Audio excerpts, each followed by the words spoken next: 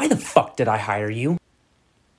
Why, why, why did you hire me? Why did you shit on his bed?